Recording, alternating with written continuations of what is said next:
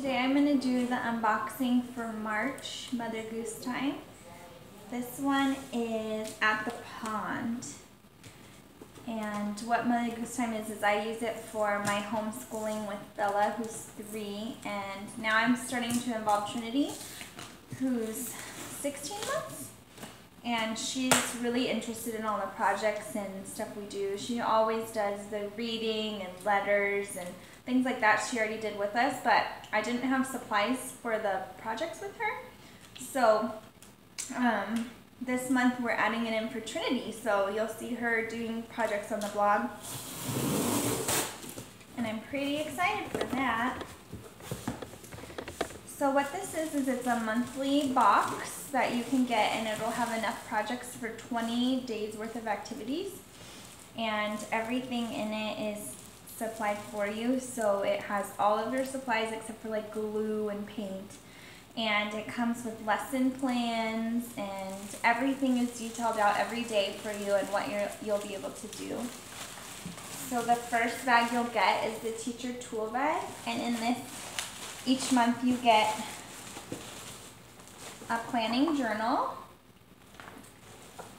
and your teacher guide and in these, it'll tell you exactly what you're gonna do. You can um, change it to what works for you. I don't do all of the activities because me and Bella don't have a lot of time. Um, but for people who have preschools or maybe they have the time to do it all day, um, you can really stretch it out and do, it'll give you things to do for a whole day's work. So day one is turtle. You can kind of see it gives you ideas things to do for turtle. And then I always talk about the planning journal has my favorite page, which is the overview, and it'll show you all the projects you're gonna do that month. So it looks like we're gonna make a little turtle, and you are gonna learn about all the animals and all the things that are at ponds. So that's cute.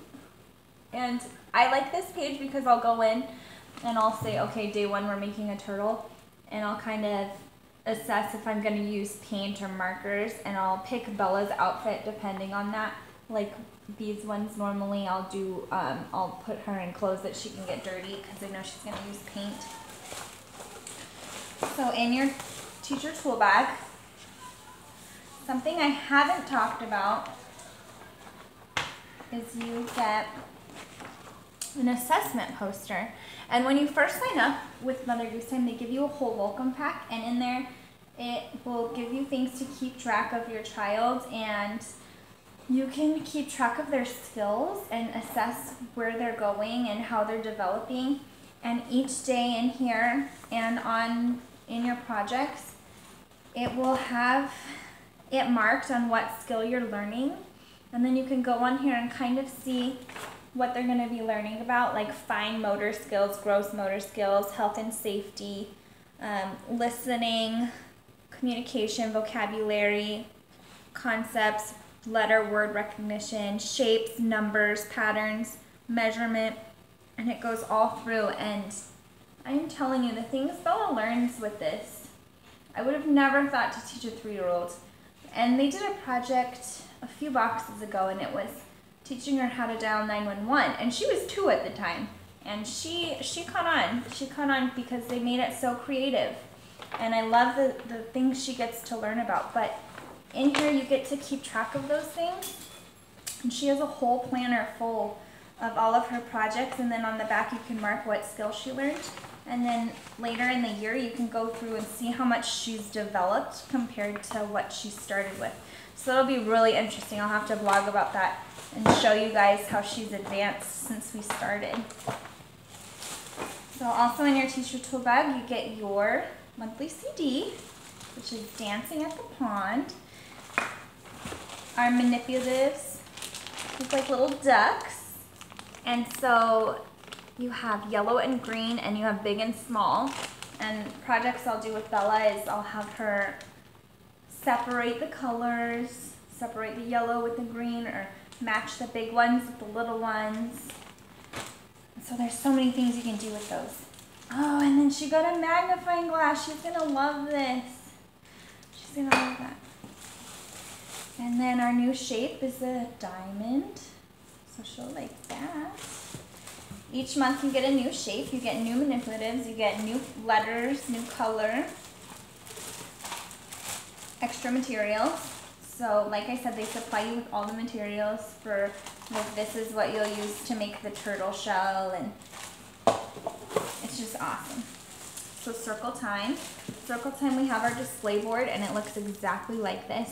And each month you get new letters, you get new calendar, you get your daily topic poster, and you get new counting fish and these little ducklings. They have emotions on them. It's like caring, loving. And each month they learn something new. So this month we're gonna do blue, which used to be Bella's favorite color. And it looks like the letters are F, K, and P, and you get new cookie cutters every month. So by the end of the year, we'll have the whole collection of the alphabet and cookie cutters. We'll have all the shapes and stamps. We'll have all the colors. Really neat. And we use the cookie cutters for Play-Doh. We use them to trace on the paper. I'm actually to use those to trace on the Magna Doodle. Bella's been really interested in the Magna Doodle, so we'll use that. And then you get your Circle Time theme songs. So you pop these out and you use your CD and it has blank songs without words. And then you guys each day fill in um, the songs, which is really cute. Get a theme poster, which the kids can search for items. And Bella will probably use her new magnifying glass to do that. You get your new calendar, which Bella loves gluing on the days and that's how we have taught her Sunday through Saturday. And we'll say today is Monday, the 1st of March or whatever. That's not right, but you know. And she's able to, actually, Trinity was able to pull these out. She started pulling these out. They really like doing that. So it uses a lot of their motor skills to be able to help peel these off, put glue on the back, glue them on. And Trinity, is so small, young, but she's able to do these things too, which you wouldn't really think to let your 16 month old baby do that, but she likes it. And each month you get your letter posters. And then you get these cube cards which you cut and they go in a cube and we roll the cube and then we say, um, I'll put like all the K things together and then we'll say, oh, does key start with K or kangaroo start with K? And we, that one's kind of upside down, but you get the idea. And then you get your new shape and we're going to learn about forgiving and the 7, 7 and 17. And I like that Mother Goose Time does that as well. They'll give you a little bit at a time, so you're not overwhelming your kid with learning all their numbers at one time. You focus on a couple numbers at a time, and so they really get to know them throughout the month. And I really like that you do that. And there's a holiday this month, so you get a free packet for the holidays. So it's St. Patrick's Day, and look at these big gold coins. They're huge. And in a celebration kit, they normally give you lots of ideas for to have like a party. And it'll be in here like games you can do, foods you can make. And last month we did Valentine's Day, which of course is Bella's favorite, but they give you all these ideas on things to do. And then they give you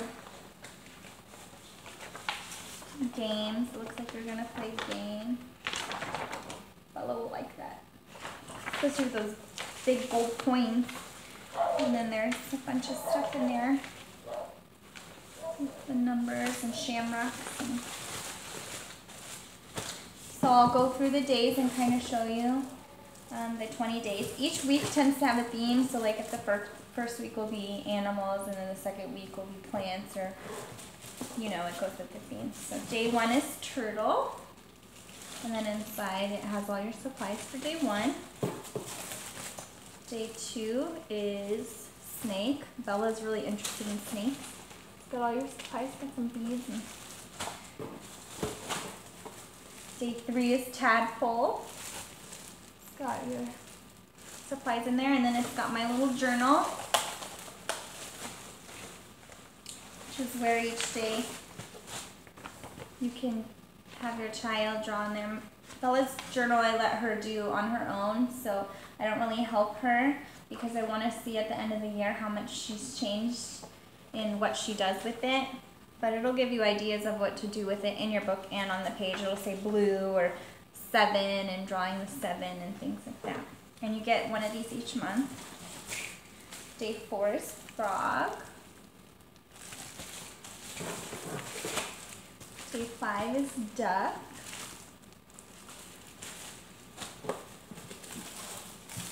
So this is the next week, and day six is submerged plants. And it's got a little boy frog in there, and it looks like you're gonna play a game. Day seven, bog plants. And then our, like our puzzle and our book is in this one. So I say it every time. I love the books that come in your box. These are like real books and they're always so pretty. This one's At the Pond and Trinity and Bella both like the books. So you can kind of see how bright they are. And this one, this one looks really neat. It's actually got real pictures. So, and it says, just for an example, it says, what would you like to eat a bug? so it kind of gives the kids ways to play with it and interact. And it says, at the pond, dragonflies dance among the plants. What's your best dance move? Things like that. It just gets Bella involved and she really likes it. And then the puzzle it's a dragonfly, so that's cool. It's like, I love the puzzles. We have a little collection of puzzles and we have a little collection of books. And we just reuse them and play with them and read them. And I will say the nursery rhyme one is my favorite book so far because we didn't have any nursery rhymes in books. So this is day eight, emergent pond plants. And you think to yourself, emergent am I going to teach my kid that? And then Bella will say words like that big, and it cracks me up, but it's awesome, and I like it. You wouldn't think to teach her those things, but she really, you tell her, and she'll say it. So this is floating pond plant. And this one comes with like sand and rock.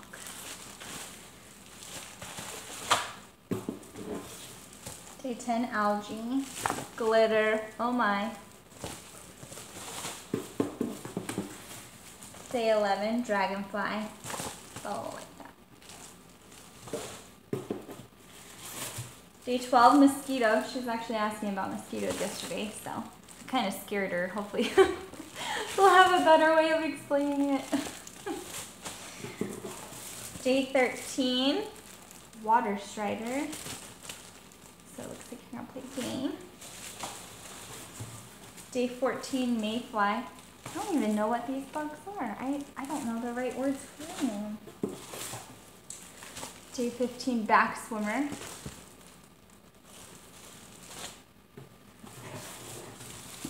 Day 16, snail. She'll like that one. We found one today in the yard. It's got some sand, and it looks like you're going to make a snail trail. So it's a cute idea. She actually asked, sticky, how does he move? She'll like that. Day 17, crawfish. Got your supplies in there. Day 18, lizard. This cool. They give you the little brush. I always love seeing what we're going to do because it's things I would never think of. Day 19, alligator. And it looks like you're going to texturize, probably paint, and then texturize and make the, the scales because it's got some black sand in there. And then day 20, fish. So then it's got the page for the portfolio that you can put, and I have little sections, they just have plastic dividers, and then you can put in there things they made that month. This is cool. It looks like you're going to fill the bag with like water and rocks and grass, probably from the yard, and make your own pond.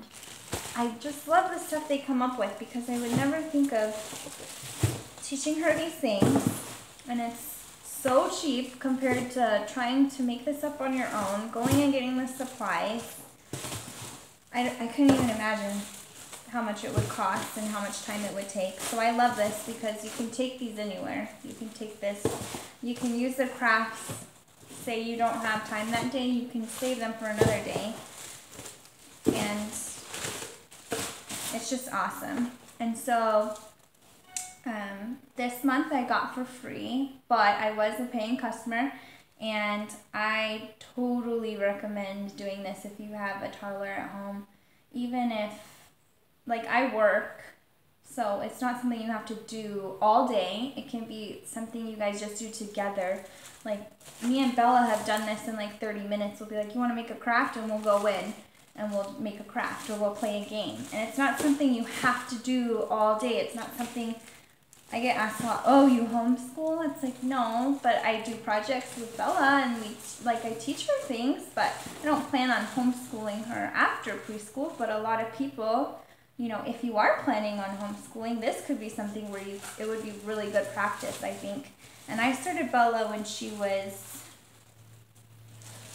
two and a half, maybe, and she liked it from the beginning. Trinity is she's 16 months and she's to start this month. So I think really it depends on your kid and what they like to do, but don't estimate your child because I am constantly amazed at what Bella understands and now Trinity. Trinity loves it just as much. So I wasn't even to include her in it, like not on the projects, but when I sat her down and gave her supplies, she was able to hold the glue stick. She was able to squeeze the things. She's able to put things on. She's able to rip them apart.